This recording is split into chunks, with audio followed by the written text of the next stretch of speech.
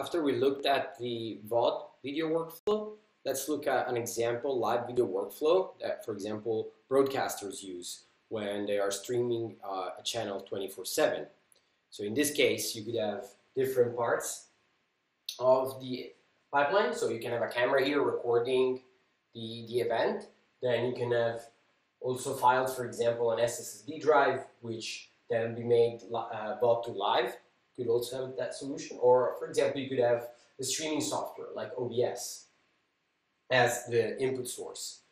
The next step is to then actually transmit these files through as a live file or as a live stream, for example, from OBS software, then you just go to the encoding part.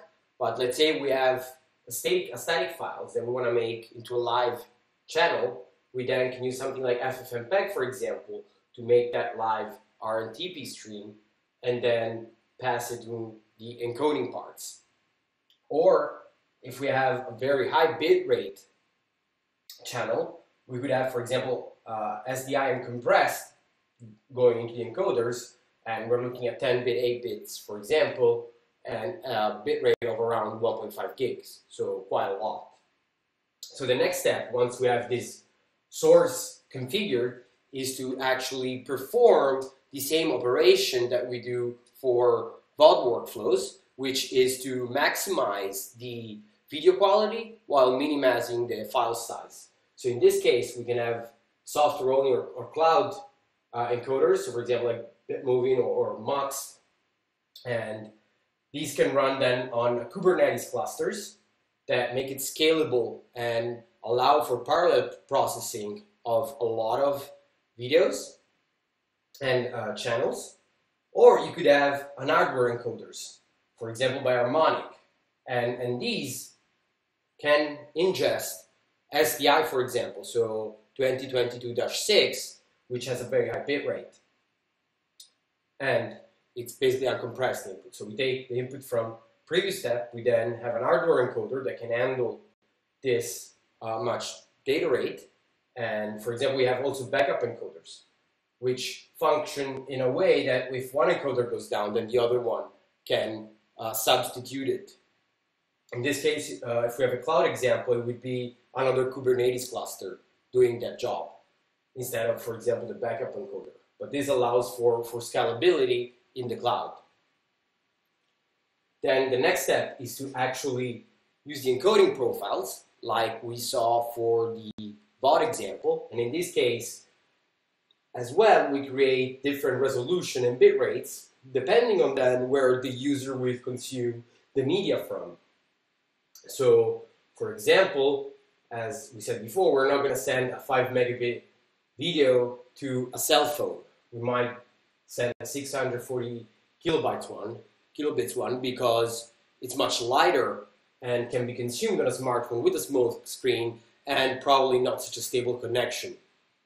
So we create these versions either for Dash or, or, or HLS, and we have ABR, which is adaptive bitrate. So basically, the video file, video stream gets split into chunks of a couple of seconds long, and these chunks allow for the quality switching at the player level and, and also at the context level. So for example, if the user has a high connectivity initially, they're going to get a higher resolution bitrate file, and maybe they move then with their cell phone to an area of lower connectivity, and, and then the player will automatically pick the version at a lower bitrate and resolution so the video can keep playing.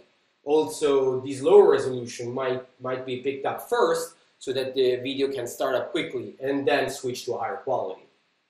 So once we have done the different versions of the video file or, or of the channel that we're uh, transcoding to live, we're then going to place the resulting manifest and video and audio files on a CDN. For example, we could use Akamai MSL4, which then basically copies the files across a different number of servers across the globe so users that are accessing from different parts of the world on different devices can get the files faster. So for example, if a user is connecting to the channel from Italy on a cell phone, it will be faster to deliver the video if the server is in Italy than if it's in LATAM.